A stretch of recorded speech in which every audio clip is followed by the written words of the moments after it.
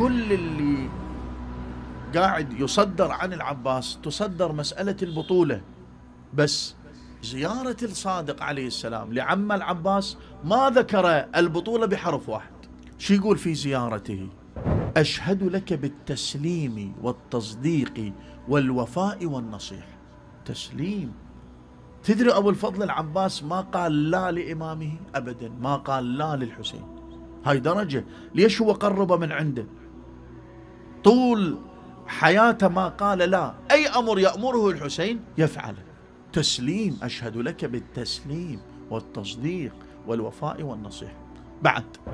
أشهد أنك مضيت على بصيرة من أمرك. مدح مدح بصيرة بصيرة. زين منين أخذ هاي البصيرة؟ مقتديا بالصالحين ومتبعا للنبي. بعد. فنعم الأخ المواسي لأخيه.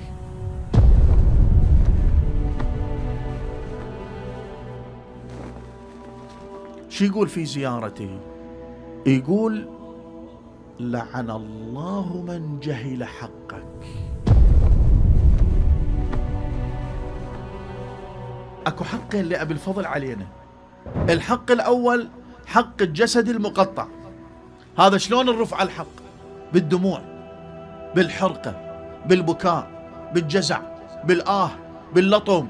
هذا نرفع حق شنو؟ الجسد المقطع. وحق العباس العالم. العباس مو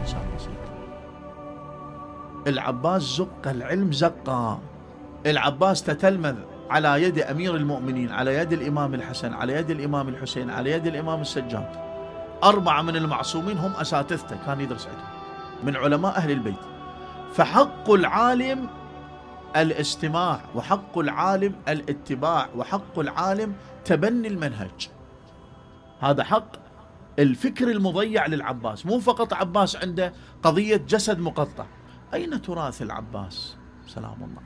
صاحب الإصابة من يترجم للعباس بن أمير المؤمنين يقول وروى عن أبيه علي بن أبي طالب روايات عنده.